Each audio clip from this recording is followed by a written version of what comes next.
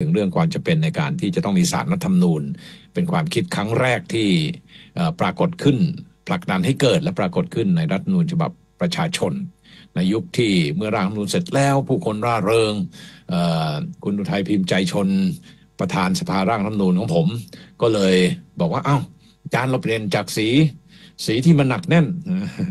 สีนี้นะครับ สีธงชาติ สีดำอันนี้เป็นสีที่เอเจนซี่ที่ทำหน้าที่รับจ้างโฆษณากับสภาร่างรัฐธรรมนูญสมัยนั้น คือพี่สุภลักษณ์จากบริษัท Kith and Kin Advertising Agency เดี๋ยวนี้พี่เขายังทำงานอยู่นะครับ ผมก็รู้จักกับพี่เขาดี ผมก็เลยบอกพี่ช่วยรับงานประชาสัมพันธ์ร่างรัฐธรรมนูญไปสิแล้วก็กำหนดรูปแบบการประชาสัมพันธ์สัญลักษณ์สีอะไรต่างๆแล้วผมก็เพียงแต่บอกว่าพี่เอาแบบหนักแน่นหนักแน่นนะครับ เราก็เอาธงชาติแล้วก็สีดำอันนี้หลักการประชาสัมพันธ์ว่าใช้สีธงชาติกับสีมืดหนักแน่น เป็นหลักในการประชาสัมพันธ์ พอประชาสัมพันธ์จนกระทั่งเดี๋ยวมีวัสดุประชาสัมพันธ์ต่าง ๆ มากมายนะยกยาวขึ้นจอให้ดูเล่นๆเพลินๆแต่ตอนเช้านะครับเนี่ยสติกเกอร์อะไรต่าง ๆ เนี่ยหลังจากนั้นเนี่ยก็เลยตกลงกันว่า รัฐมนูลเสร็จแล้วประชาชนแส่ซองยินดี เปรียบเสมือนใบไม้เริ่มผลิคุณอุทัยพิมพ์ใจชนก็บอกขอเปลี่ยนจากสีธงชาติและสีดำมาเป็นสีสัญลักษณ์แห่งความร่าเริงเบิกบานนั่นปี 2540 ท่านอุทัยพิมพ์ใจชนก็เลยบอกว่า เอาสีเขียวตองอ่อน ทุกคนก็ตั้งงบกันใหม่เปลี่ยนสี ผมก็ไม่ค่อยพอใจนะ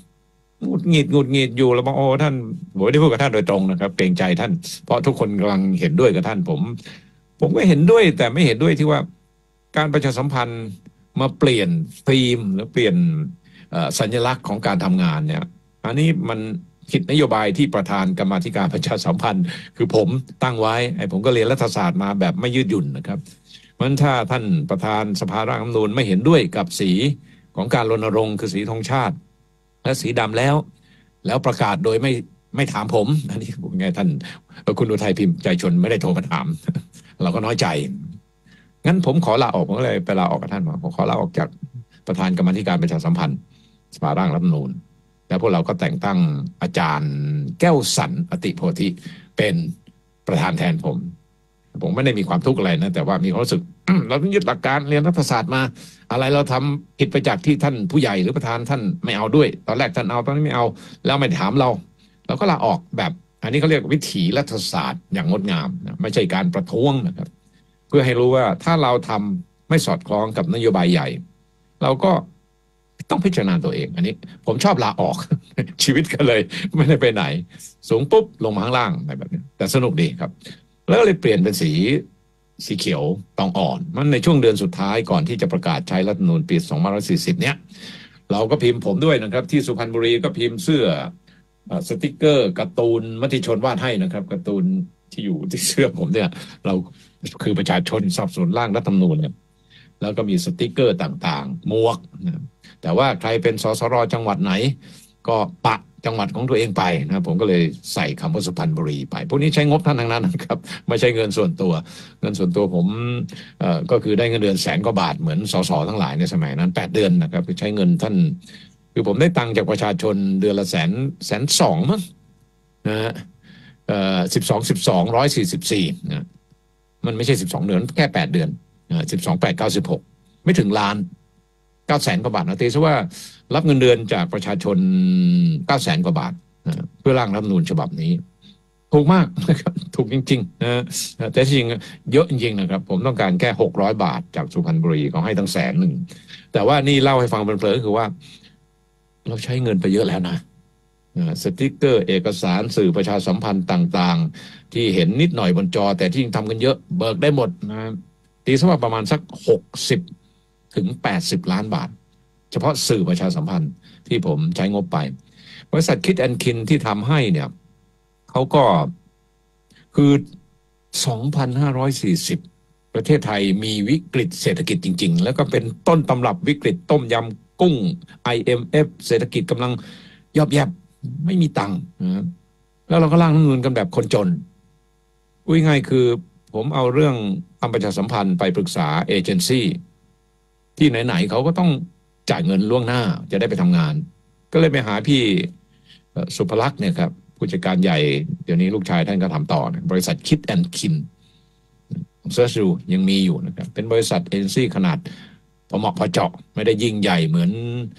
บริษัทอื่น ๆ พวกฝรั่งเขานะครับ แต่ว่าพี่ก็บอกว่าเดี๋ยวพี่ทำให้นะครับ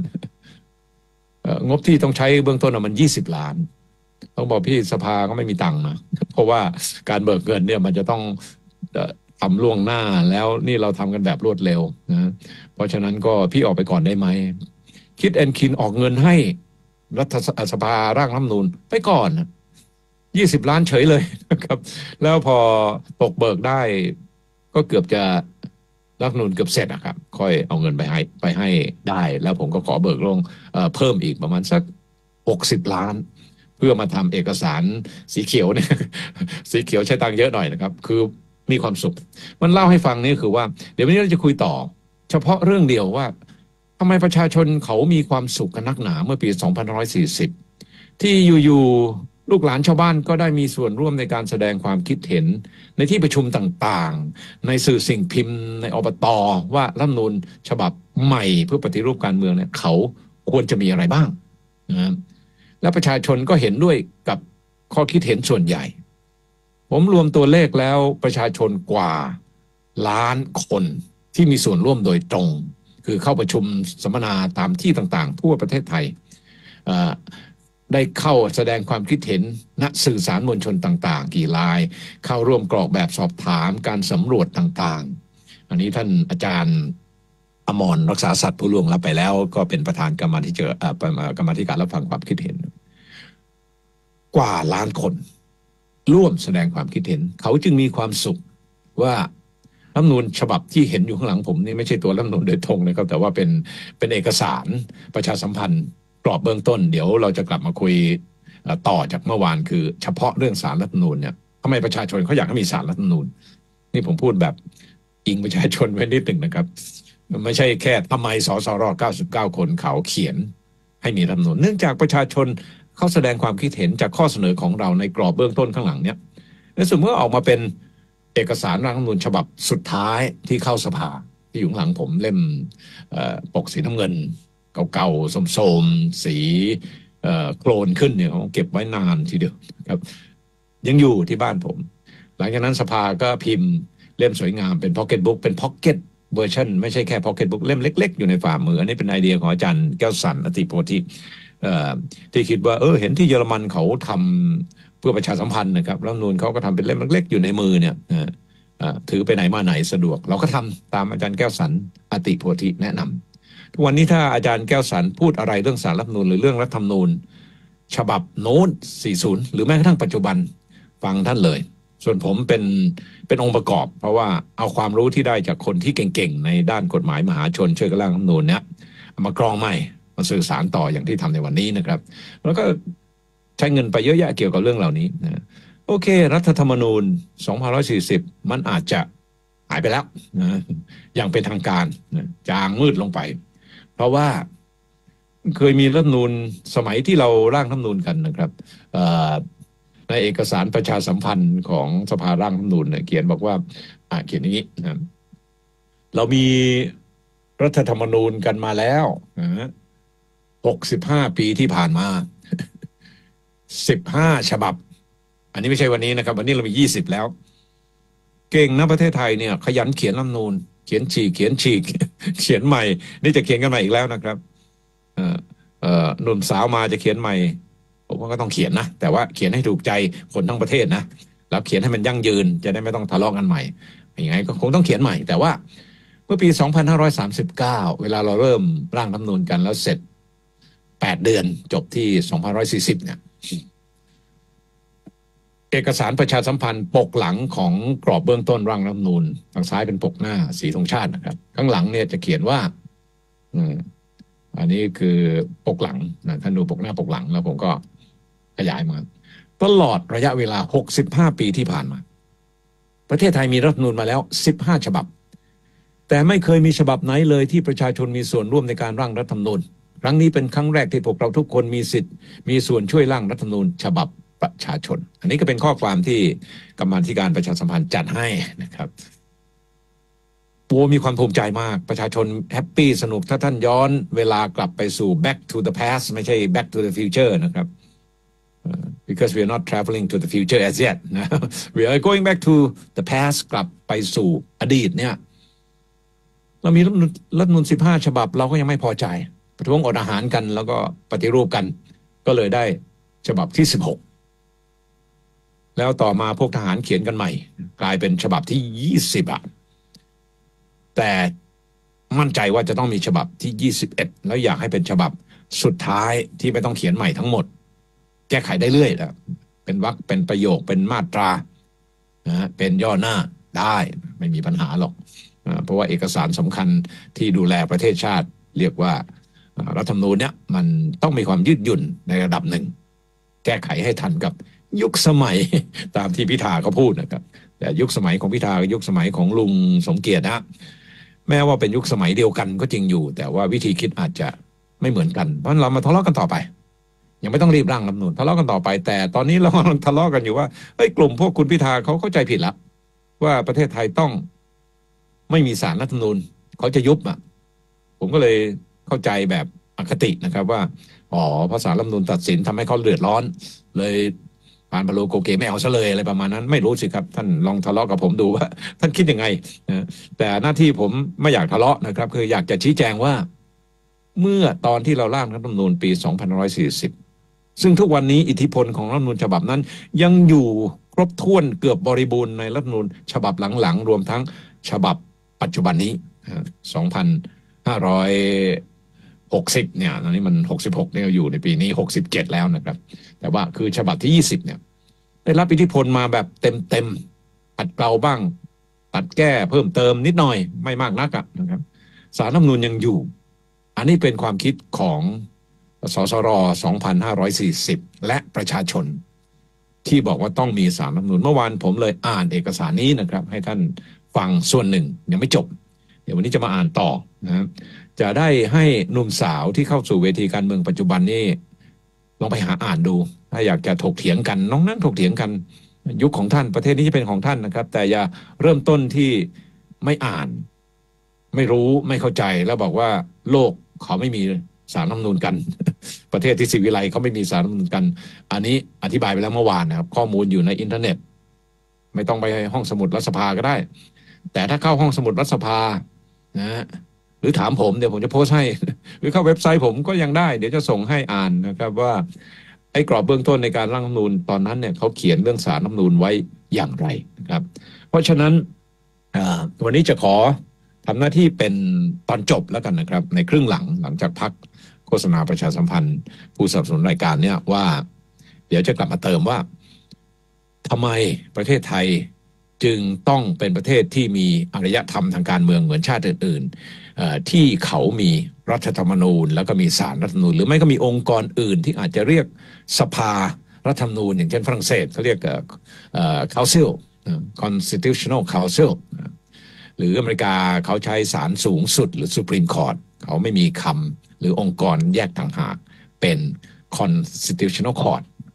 อันนั้นก็เล่าไปแล้วเมื่อวานนะครับเดี๋ยวจะกลับมาส่วนที่เหลือที่ยังไม่ได้อ่านก็ไม่ยาวนะครับ รัฐธรรมนูญฉบับ 2540 นะครับพูดอีกทีนะถ้าเด็กๆที่เกิดมาทีหลัง แล้วก็นั่งฟังลุงพูดอยู่เนี่ยอ๋อรัฐธรรมนูญมันตายแล้วไม่ใช่เหรอ พูดอะไรอยู่นะครับ ถูกต้องนะรัฐธรรมนูญฉบับที่ 16 อะคือฉบับสีเขียวต้องอ่อนเนี่ย ฉบับประชาชนเนี่ยที่ผมพูดมา 10นาทีที่แล้วเนี่ย มันถูกฉีกทิ้งไปแล้วล่ะแต่ว่าอิทธิพลความคิดยังอยู่ ก็แปลว่าพวกทหารเนี่ยที่ยึดอำนาจ แล้วก็ฉีกทิ้งเขียนใหม่แล้วผู้ร่างใหม่ไม่ได้มาจากประชาชนก็ตามนะครับ ยังคงได้รับอิทธิพลจากประชาชนทั่วประเทศไทยปี 2540 อยู่ กลิ่นอายข้อความเนื้อหามาตราบางทียกมาทั้งกระบี่ยังอยู่ในรัฐนูญฉบับหลังๆ และปัจจุบันนะเพราะฉะนั้นผมคิดว่า ในฐานะที่เราแม้ว่าจะพ้นจากตำแหน่งหน้าที่และความรับผิดชอบ ในสภาร่างรัฐนูลไปแล้วตั้งแต่ปี 2540เนี่ยก็จะขอทำหน้าที่เฝ้าระวังช่วยอธิบายเท่านั้นเองนะครับ ไม่ชวนทะเลาะนะเพราะว่าเด็กสมัยนี้เขาพูดเก่งนะครับ แต่ถ้าทะเลาะกันขึ้นเวทีหรืออธิบายแบบ ไม่ต้องเอาทัวร์มาลง หรือพูดกันแบบสุภาพ ถามตอบให้อธิบายยังพอทำได้อยู่นะแต่คิดว่าเอาตรงนี้ดีกว่า ถ้าวันไหนที่คนหนุ่มสาวไม่เข้าใจ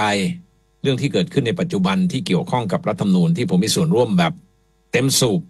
วันนี้ก็มาเขียวสดเต็มสูบนะเต็มสูบจริง ๆ นะครับแปดเดือนนี่ไม่ได้พักเลยนะครับ ไป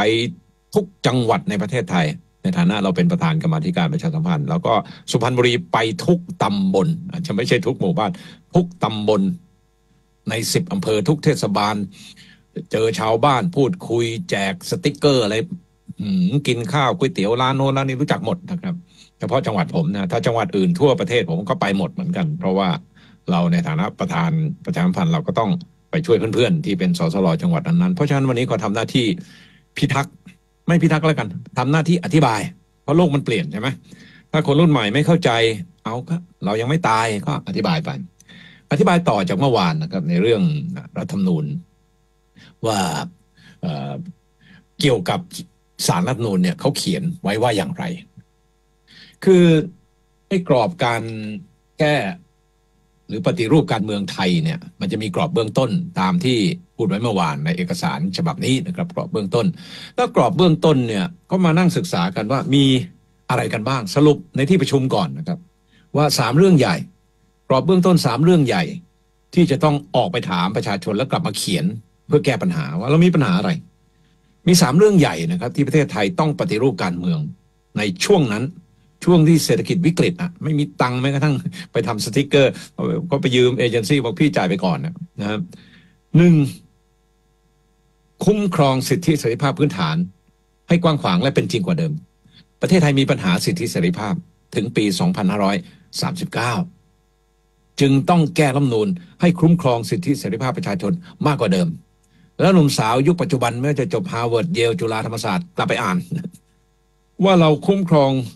ออสิทธิเสรีภาพเพิ่มขึ้นยังไง ผมไม่อ่านวันหลังแล้วกันนะครับสำหรับผมวันนี้จะพูดเรื่องออกลไกที่ต้องแก้ไขที่สองคือกรอบที่สองคือปรับปรุงกลไกตรวจสอบการใช้อำนาจรัฐ ประสิทธิภาพในการดูแลปัญหาการทุจริตประพฤติมิชอบ แล้วก็ประกันสิทธิเสรีภาพของรัษฎรโดยผ่าน การตรวจสอบอำนาจรัฐ อันเนี้ยสารรัฐนูญอยู่ในนี้อยู่ในข้อสองนะครับ เดี๋ยวจะกลับไปข้อสองนี้เฉพาะสารรัฐนูญเพราะว่าถ้าพูดทั้งหมดก็น่าจะไปได้เดือนหนึ่งนะครับสามทบทวนการปกครองโดยระบบผู้แทนทั้งระบบคือไหนๆจะแก้กันแล้วนะครับ ขอลุยมันสามเรื่องเลยนะครับ ทบทวนสามระบบนี่คือกรอบเบื้องต้นนะที่ผมเอาขึ้นจอให้เห็นชัดๆนะครับ ทบทวน ระบบการเมืองทั้งระบบเลยนะการเลือกตั้งผู้แทนราษฎรอะไรต่อมีอะไร แก้มันให้หมด ก็ก็คือพักการเมืองการเลือกตั้งระบบรัฐบาลนะเเพื่อส่งเสริมให้ได้การปกครองที่รับผิดชอบ สุจริตมีประสิทธิภาพมากยิ่งขึ้น คืออยากได้นักการเมืองที่รู้จักรับผิดชอบ ก็อยู่ในรัฐมนูญฉบับนี้ อันนี้คือกรอบที่สามนะครับนี่กลับมากรอบที่สองที่เราพูดกันในวันนี้เป็น เรื่องหลักๆนะสามกรอบเบื้องต้นอยู่บนจอนี้นะครับ เด็กๆเอาไปท่องไว้นะครับ เด็กๆ นักการเมืองรุ่นหลังก็ได้นะครับ เราช่วยแก้ให้ประเทศไทยแล้วนะครับ ประชาชนนับล้านล้านๆคนทั่วประเทศ แก้สามกรอบ คุ้มครองสิทธิเสรีภาพมากขึ้นแบบเท่าที่จะทำได้แหละนะตรวจสอบอำนาจรัฐ ในนี้จะมีระบบยุติธรรม ที่หนูตะวันเรียกร้องให้ปฏิรูปยุติธรรม ลุงทำให้แล้ว หนูไม่ต้องอดข้าวทำให้แล้วหนูไปอ่านด้วยนะแหมจริง ๆ อยากให้เด็กๆอ่านหนังสือนะครับนะอ่านหนังสือให้ถูกเล่มด้วยนะครับมันการตรวจสอบอำนาจรัฐก็จะมีเรื่องกระบวนการยุติธรรม แล้วก็สารรัฐมนูญอยู่ในข้อสองอ่าหนูตะวันไปอ่านเลย จะได้ไม่ต้องหิวโหยมีปัญหาทุกวันนี้นะครับ คืออันนี้ด้วยความรักและห่วงใยคนรุ่นใหม่นะครับ ที่มีจิตใจบริสุทธิ์จะทำให้ประเทศดีขึ้น แต่เหมือนไม่อ่านนะเลยไม่เข้าใจว่าเขาทำให้แล้วนะครับ ถ้าทำให้แล้วไม่ถูกใจไปสมัครสอสอแล้วก็กลับมาแก้ กฎหมายหรือรัฐธรรมนูญแล้วแต่ไม่มีปัญหาโลกของท่านผมตายแล้วตอนนั้นนะครับ ก็สามทบทวนทั้งระบบการเมือง แปลว่ามันไม่ไหวจริง ๆ นักการเมืองทั้งระบบ ก็ทำให้แล้วแล้วมันยังไม่ไหวอยู่สงสัยข้อสามนี้ต้องทำใหม่ โอเค กลับมาเรื่องออสารรัฐธรรมนูญนะเมื่อวานอธิบายไปแล้วนะครับว่า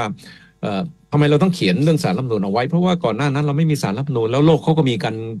ทั้งหมดอะทั้งโลกในรูปแบบ ชื่อเรียกต่างๆกัน แต่เรามีแค่ตุลาการรัฐธรรมนูญมันก็เป็นการเมืองแต่งตั้งโดยการเมืองโอนเอียงเชื่อถือไม่ได้ ไม่น่ามันน่ากลัวก็เลยตั้งศาลรัฐธรรมนูญขึ้นมานั้นประเด็นปัญหาที่สำคัญเกี่ยวกับเรื่องศาลรัฐธรรมนูญนะอันนี้ผมจะอ่านต่อจากเมื่อวานเนี่ยศาลรัฐธรรมนูญในเอกสารเล่มปกธงชาติกับพานรัฐธรรมนูญเนี่ย พวกเราสรุปกันจากการไปฟังไปคุยแล้วกลับไปฟังอีกทีหลัง จากประชาชนทั้งหลายทั่วประเทศนะครับ สาระรัฐธรรมนูญสภาพปัญหาหลัก นับตั้งแต่ปี 2489 เนี่ย ตุลาการรัฐธรรมนูญไม่ work พูดไปแล้วเมื่อวานนะครับ มันไม่ work มันก็ต้องมีการเปลี่ยนแปลงจะเปลี่ยนแปลงยังไงนะหลักการสำคัญที่ควรบัญญัติไว้ในรัฐธรรมนูญฉบับใหม่เนี่ย ก็เลยตกลงกันว่าให้จัดตั้ง สารรัฐธรรมนูญในรูปสารแทนคณะกรรมการ ประกอบด้วยประธานสารรัฐธรรมนูญและตุลาการสารรัฐธรรมนูญอีก 8 คนรวม 9 คน อันนี้อยู่ในข้อ 1.2 อ่านให้มันดูขลังขึ้นมี 1.1.2.3อะไรว่าไปนะครับเอ่อแล้วก็พูดถึงเรื่องการสรรหาตุลาการรัฐธรรมนูญแต่เรื่องการให้มีสารรัฐธรรมนูญในรูปสารแทนคณะกรรมการตุลาการรัฐธรรมนูญเนี่ยอธิบายไปเมื่อวานแล้ว สรุปว่าประชาชนเขาให้มีนักวิชาการนักคิดทั่วประเทศ แซ่ซองสรรเสริญต้องมี โลกเขาก็มี เพราะฉะนั้นไม่ต้องมาเถียงตรงนี้นะครับว่าเราไม่ควรมี เพราะเราเป็นประเทศอารยะหรือซีวิไลอันนี้ผิดนะครับ ให้มี แต่นี้ก็เป็นรายละเอียด ถ้าจะเถียงกันในรายละเอียดเอาเถียงได้จนโลกแหลกแตกสลายว่า จะมีกี่คนประกอบด้วยใครเป็นใคร อันนี้ เอาเป็นว่ามีนะแล้วตอนนั้นก็บอกว่าสารรัฐธรรมนูญมี12คนมีประธานศาลฎีกาอายการสูงสุดเลขากฤษฎีกาอ่ากฤษฎีกา นายกสภาทนายความอะไรต่างๆ พวกนี้นะครับ เลือกกันเองให้เหลือสี่คนนะแล้วก็ว่ารายละเอียดของการเลือกสรรหาตุลาการรัฐนูญแล้วก็บอกว่าสรรหาตุลาการศาลรัฐนูญไม่ใช่ตุลาการรัฐนูญตุลาการศาลคือว่าองค์ประกอบของศาลต่อไปนี้เราจึงต้องเรียกว่าศาลรัฐธรรมนูญ เพราะเป็นศาลแล้วมันศักดิ์สิทธิ์ที่สุดในกระบวนการยุติธรรมบนโลกมนุษย์ในแต่ละประเทศ ที่เขาเรียกว่า court of law เนี่ย ก็หลังจากนั้นกรรมการสรรหาตุลาการสารรัฐมนูญก็ที่เอ่ยไปเมื่อกี้เนี่ยเป็นพวกกรรมการสรรหานะครับ 12 คนแล้วกรรมการสรรหาก็ไปจัดการทำงานต่อ แล้วก็ให้ตุลาการสารรัฐมนูญมีวาระการดำรงตำแหน่ง 9 ปี แต่ทั้งนี้จะต้องพ้นจากตำแหน่งก่อนวาระเมื่ออายุครบ 70 ปีมีรายละเอียดอีกย่อยอีกเป็นรายละเอียดเยอะๆนะครับ ผมจะไม่ต้องอ่านก็ได้มั้งนะเพราะว่าวันนี้จะต้องย้ำให้เห็นว่า ทำไมประชาชนเขาเห็นว่ามันจำเป็น แล้วทำไมโลกเห็นว่าจำเป็น ใครที่เห็นว่าไม่จำเป็นเนี่ยมันเป็นความเห็นที่ไม่เหมือนประชาชนส่วนใหญ่และไม่เหมือนโลก ถ้าอยากจะเห็นว่าไม่จำเป็น อยากจะยุบทิ้ง ก็รณรงค์กันมาถกเถียงอภิปรายเสวนากัน หรือว่าจะส่งตัวแทนสมัครเป็นสสอแล้วไปสู้กันในสภาไม่ว่ากันนะครับ สู้กันได้ อันนี้เป็นประชาธิปไตยอยู่แล้ว แต่ผมพยายามอธิบายว่า โลกทำไมจึงมีสารรัฐธรรมนูญ และประเทศไทยจึงอยากจะสิวิไลเหมือนโลกทั้งหลาย ให้มีสารรัฐมนูญแล้วก็มีแล้วนะหลักการสำคัญที่เกี่ยวกับวิธีพิจารณาของสารรัฐมนูญนั้น เอกสารฉบับนี้กรอบเบื้องต้นของร่างรัฐมนูญเนี่ยบอกว่าควรบัญญัติไว้ในรัฐมนูญเพื่อเป็นแนวทางหรือกรอบของวิธีพิจารณาของสารรัฐมนูญโดยเฉพาะในเรื่องต่อไปนี้ หมายความว่ารัฐมนูญและประชาชนปี 2540 บอกว่าเอาละต้องมีสารรัฐมนูญด้วยเหตุผลที่สำคัญอธิบายไปเมื่อวานและเมื่อกี้นี้ แต่ว่าก็กลัวว่าสารรัฐนูญจะไม่มีกรอบในการทำงาน เราก็เลยบอกว่า วิธีพิจารณาของศาลรัฐนูญจะเขียนไว้บอกเลย ท่านจะได้ไม่ต้องถูกใครตำหนิต่อว่าว่าเอ่อทำผิดทำถูกไม่ถูกใจถูกใจอะไรพวกนี้ เหมือนอย่างที่พวกพรรคการเมืองของคุณพิธาธนาธรอะไรพวกนี้เขาออกมานอกจากจะไม่ชอบวิธีทำงานของสารรัฐนูญแล้ว ไม่ชอบการมีสารรัฐนูญด้วยอันเนี้ยเราจึงเอาสิ่งที่พูดวันนี้ ไปอธิบายกับเขาให้เข้าใจ ถ้าเข้าใจแล้วมันก็ไม่น่าจะทะเลาะกันต่อไปนะเมื่อเข้าใจแล้วมันก็เปลี่ยนเรื่องทะเลาะได้ครับ เพราะฉะนั้นก็เลยกำหนดแนวทางพิจารณาของสารรัฐมนูญหนึ่งให้มีการคัดค้านตุลาการสารรัฐมนูญได้นะคัดค้านได้เลยครับ ไม่มีปัญหาสองการรับฟังคำชี้แจงของผู้ร้องผู้ถูกร้อง หรือผู้มีส่วนได้เสียก่อนทำคำวินิจฉัยนั้นก่อนสารรัฐมนูญจะตัดสินคดีวินิจฉัยอะไรต่าง ๆ เกี่ยวกับรัฐมนูญเนี่ยก็ฟัง ผู้ร้องผู้ถูกร้องให้ครบ ก็จะเห็นว่าสารรัฐมนูญเรียกผู้ที่เกี่ยวข้องมาตั้งหลายรอบ ยืดเวลาให้พิธารู้ดีนะครับ คุณพิธารู้ดีนะครับ แล้วพวกเราก็รู้ดีว่าสารรัฐมนูญให้โอกาสหมดแล้ว อันนี้ก็เป็นไปตามรัฐมนูญนะครับ ไม่ใช่ว่าสารรัฐมนูญตั้งใจจะให้โอกาสหรือไม่ให้โอกาสตามใจชอบไม่ใช่ ประชาชนร่างไว้ให้ท่าน ข้อสามต้องพิจารณาการพิจารณาต้องกระทำโดยเปิดเผย ก็ไม่ได้ทำกันหลังบ้านหรือในครัวนะ เปิดเผยทุกอย่างโปร่งใสหมด โดยชอบแล้วนะครับ ท่านตุลาการสารรัฐมนูญทำหน้าที่ได้งดงามเบิกบานถูกใจรัฐธรรมนูญ40 และปัจจุบันด้วย ข้อ 4คำวินิจฉัยของสารรัฐมนูญจะต้องให้เหตุผลประกอบก็ไปอ่าน แล้วสื่อมวลชนทั้งหลายก็อ่านเหตุผลของสารรัฐมนูญประกอบ อ่านแล้วอ่านอีก ผมก็อ่านแล้วอ่านอีกเฮ้ยแล้วเองไม่เชื่อเลยเหรออะไรประมาณนั้น เชื่อไม่เชื่อไม่เป็นไร ไปเถียงได้เขาก็เปิดให้เถียงนะครับ เพียงแต่ว่าสารรัฐมนูญทำคำวินิจฉัยให้เหตุผลประกอบ เรียบร้อย อาจจะมีคำที่งดงาม เป็นวรรณศิลป์อยู่บ้างที่ผมก็ชอบนะครับ แต่ว่ามันเหมือนกับวรรณศิลป์เกินไปคือซอกกร่อนบ่อนทำลาย อันนี้หนุ่มสาวนักการเมืองรุ่นใหม่ก็เลยเอามาแซวกันนะครับ เป็นคำที่งดงามนะเป็นภาษาวรรณกรรมเลยแต่ว่ามันอาจจะไม่ใช่ภาษาแบบ ภาษากฎหมายมหาชนโดยตรงที่ผมคุ้นเคยนะครับ ภาษากฎหมายมันอาจจะสั้นกว่านี้ ชัดชัดเลยซอกกรอนบอลทำลายนี่มันหลายวลีเกินไปอะไม่เป็นไรครับก็โลกเปลี่ยนแปลงงั้นภาษากฎหมายก็งดงามขึ้นคำวินิจฉัยของสารรัฐมนูญให้เป็นที่สุด วินิจฉัยเสร็จแล้วที่สุดถกเถียงกันเถอะ แต่สุดแล้วนะครับ มีผลผูกพันรัฐสภาคณะรัฐมนตรีศาลทั้งหลายอองค์กร ตลอดจนเจ้าหน้าที่อื่นของรัฐ ให้ประกาศในราชกิจจานุเบกษา ทั้งนี้ให้สารรัฐมนูญเป็นผู้กำหนดวิธีพิจารณาที่เป็นรายละเอียด และสอดคล้องกับหลักการข้างต้น หน่วยงานธุรการของสารรัฐมนูญเป็นหน่วยงานสังกัดสารรัฐธรรมนูญ ตุลาการสารรัฐธรรมนูญถวายสัตย์ปฏิญาณต่อพระมหากษัตริย์ก่อนรับหน้าที่สารรัฐธรรมนูญมีหน้าที่เพิ่มเติมจากที่คณะตุลาการรัฐธรรมนูญมีอยู่แต่เดิม ดังนี้ ถ้าหนุ่มสาวการเมืองรุ่นใหม่ไปอ่าน ที่ผมจะอ่านต่อไปนี้ ก็ต้องทำความเข้าใจเบื้องต้นนะครับว่า ก่อนหน้านี้ตุลาการรัฐมนูญเขามีอำนาจอะไร แล้วก็จากนั้นไปรัฐมนูญฉบับใหม่เนี่ยก็เพิ่มอำนาจให้มากขึ้น แล้วก็กลายเป็นสารรัฐมนูญก็คือหนึ่งพิจารณาความชอบด้วยรัฐมนูญของบทบัญญัติต่างๆ ของร่างกฎหมายประกอบรัฐมนูญอาทิกฎหมายเลือกตั้ง สมาชิกรัฐสภา กฎหมายพรรคการเมือง เป็นต้น ก่อนประกาศใช้ป้องกันไม่ให้มีการตราบทบัญญัติที่ผิดไปจากรัฐมนูญกำหนดพูดง่ายๆคือว่าสารรัฐมนูญยุคใหม่ ยุคสิวิไลของผมเนี่ยนะครับหรือของผมซึ่งกำลังแก่ตัวลงเนี่ยดีกว่าเดิมดีกว่าตุลาการ เพราะว่าบทบัญญัติต่างๆ ที่ไม่ใช่ตัวรัฐมนูญแต่ว่าเป็นบทบัญญัติที่เกี่ยวเนื่องที่เขาเรียกกฎหมายลูกนะครับ คือกฎหมายที่ประกอบรัฐธรรมนูญเพราะรัฐธรรมนูญบอกให้ทำกฎหมายอะไร เราก็มาทำกฎหมายกัน อันนี้ก็เรียกกฎหมายลูก มันกฎหมายลูกหรือกฎหมายประกอบรัฐธรรมนูญ ที่ถูกสั่งโดยรัฐธรรมนูญให้เขียนตามมาทีหลังเนี่ยเป็นหน้าที่ของศาลรัฐธรรมนูญที่จะพิจารณาวินิจฉัย เซตประเด็นคำตอบให้มันเป็นที่สุด มันกฎหมายเลือกตั้งกฎหมายที่เกี่ยวข้องเป็นหน้าที่ของศาลรัฐธรรมนูญเห็นไหมครับมันดีกว่าเดิมเยอะเลยนะครับ ไม่งั้นนักการเมืองก็จะเอาแต่ใจนะสอง พิจารณาว่ากฎหมายหรือกฎเกณฑ์อื่นของฝ่ายบริหารที่ใช้บังคับ แล้วขัดต่อรัฐมนูญหรือไม่ โดยสมาชิกสภาผู้แทนราษฎรหรือสมาชิกวุฒิสภาไม่น้อยกว่าหนึ่งในห้า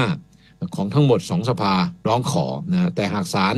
เห็นว่ากฎหมายและกฎเกณฑ์ไม่ขัดประชาชนที่เป็นคู่ความมีสิทธิ์นำคำพิพากษาที่สุดแล้ว มาให้ศาลวินิจฉัยได้ เห็นไหมมันเป็นประชาธิปไตยอาจจะกว่าหลาย ๆ ประเทศโดยซ้ำไป เฉพาะส่วนนี้นะครับสรุปง่าย ๆ ในข้อสองที่มันดีกว่าเดิม ดีกว่าตุลาการรัฐนูญนะกลายเป็นศาลเนี่ยที่เพิ่มเติมและดีกว่าเดิมเนี่ยก็คืออะไรก็ตามที่ฝ่ายบริหาร หรือฝ่ายนิติบัญญัติทำแล้วมันดูเหมือนจะขัดรัฐนูญเนี่ยศาลรัฐมนูญเป็นผู้ตัดสิน อันนี้ไม่ต้องมาเถียงกันแล้วนะครับ บัญญัติไว้แล้วเพราะนักการเมืองในสภาและนักการเมืองในคณะรัฐมนตรีเนี่ยถ้าทำผิดรัฐนูญอย่าเพิ่งลิงโลดใจว่าทำได้นะครับ สารรัฐมนูญอยู่ มีหน้าที่จัดการให้ท่านตลบให้เข้ากรอบรัฐธรรมนูญได้ท่านอาจจะบอกเฮ้ยไม่ยุติธรรมนะมันศาลนี่เราฝ่ายบริหารฝ่ายนิติบัญญัติยุติธรรมครับ เพราะว่าเรามีสารรัฐธรรมนูญไว้เพื่อให้ทุกองค์กรองค์คาพยพในสามองค์กรของออการปกครองการเมืองไทย การเมืองการปกครองไทย นิติบัญญัติบริหารตุลาการเนี่ยทำตามรัฐธรรมนูญมันนักการเมืองต้องไม่อยู่เหนือรัฐธรรมนูญ นอกจากนั้นแล้วก็บอกว่าให้พิจารณาอุทธรณ์คดีเพิกถอนการเลือกตั้งและคดีเกี่ยวกับพรรคการเมือง วินิจฉัยปัญหาเกี่ยวกับหน้าหน้าที่ระหว่างศาลยุติธรรมศาลอื่น หรือองค์กรอื่น ที่มีปัญหาขัดแย้งกันนะอันนี้ก็จบนะครับอ๋อมีข้อห้าแถมอีกนิดหนึ่งนะคือ พิจารณาถอดถอนตุลาการคดีอาญาของผู้ดำรงตำแหน่งทางการเมืองก็ที่ผมอ่านมานี่ทุกถ้อยคำนะทุกตัวอักษรที่เกี่ยวข้องกับเอกสารที่อยู่ข้างหลังนี่เท่านั้นนะครับ ไม่ใช่ตัวรัฐธรรมนูญเพื่อจะอธิบายให้เห็นว่า มันมีเหตุผลความจำเป็นอย่างไร เราจึงจะต้องปฏิรูปกระบวนการที่พิจารณารัฐธรรมนูญเมื่อก่อนเขาเรียกว่าตุลาการรัฐธรรมนูญเนี่ยให้กลายเป็นสารรัฐธรรมนูญเหมือนนานาอารยประเทศเขาแล้วก็ทำแล้ว แล้วผมว่าละเอียดกว่าหลาย ๆ ประเทศด้วย ละเอียดนี่อาจจะเป็นข้อถกเถียงให้ถกเถียงกันได้ เพราะฉะนั้นได้เลย จะแก้จะปรับ อันนี้ก็ไปแก้ที่รัฐธรรมนูญ เดี๋ยวก็จะต้องแก้รัฐธรรมนูญกันภายในสิบปีข้างหน้าเนี่ยนะครับ ถ้าผมยังอยู่นะยังไม่ตายผมก็จะเอาไอ้นี้กลับออกมาเล่าให้ฟังอีก ไม่ได้แปลว่าบอกให้ทำตามนั้น แต่แปลว่าเราเคยคิดว่าอันนี้ดีนะแล้วการการผ่านไปพวกท่านเติบโตมาเกิดใหม่ประเทศนี้เป็นของท่าน ผมตายนะฮะถ้าตายไปแล้วผมก็จะไม่กลับมาพูดอีกหรอกนะครับ เดี๋ยวเด็กวิ่งหนีกันแต่ว่าถ้ายังอยู่และยังพอพูดได้ สติสัมปชัญญะยังดี เอกสารยังอยู่เนี่ย จะช่วยเล็ก ๆ น้อยๆเพราะว่าผมอยู่ใน กระบวนการร่างรัฐมนูญที่คิดว่าดีเท่าที่จะทำได้ในบริบทแห่งการเวลานั้นนะครับผมก็ไม่คิดว่าดีที่สุดหรอก ถ้าดีที่สุดตามแบบของผลต้องเอาแบบพระเจ้าอยู่หัวรัชกาลที่ 9 ที่แนะเราไว้ว่ากระชับหน่อย ย่อๆ สั้นๆ อย่ายืดยาดยืดยาว ผมคิดว่าอิทธิพลรัฐมนูญอเมริกันญี่ปุ่น และหลาย ๆ ประเทศในโลกเนี้ยที่เขาร่างกระชับ มันทำได้เนื่องจากว่าประชาชนเขา พัฒนาความคิดอ่าน จนไม่ต้องเขียนกันมากแล้วนะมันจะได้ไม่มีอะไรให้ดิ้นกันอุตลุดนะว่าจะหลีกหนีหาช่องโหว่ดังนั้นก็เป็นจุดอ่อนของรัฐมนูญฉบับต่างๆ ที่ว่าละเอียดเกินไปนะก็ลองดูแต่ผมคิดว่าภายในสิบปีข้างหน้าเราคงต้องร่างรัฐมนูญกันหน่อยถ้าโชคดีก่อนผมจะจากโลกนี้ไปก็คือสี่ห้าปีข้างหน้า หรือว่าโอเค อาจจะอยู่สิบปีตามดูกันก็แล้วกันนะครับ ตอนนี้ก็จะมาพรีวิววันพรุ่งนี้สักนิดหนึ่งนะครับ ถ้าเข้าใจแล้วเรื่องเหตุผลของการมีสารรัฐมนูญเนี่ย ก็ถือว่าสงสัยไปหาอ่านต่อนะถ้าสงสัยว่าจะอ่านอะไร อีเมลถามผมได้ จะบอกให้นะ แต่ว่าถ้าไม่สงสัยก็ไปห้องสมุดรัฐสภา ประชาชนก็เข้าไปได้นะฮะนะหรือหอสมุดแห่งชาติเอกสารพวกเนี้ยมันจะอยู่เป็นอาร์คีฟนะฮะเอ่ออยู่เป็นหอจดหมายเหตุอะไรพวกนี้จะอยู่นะครับ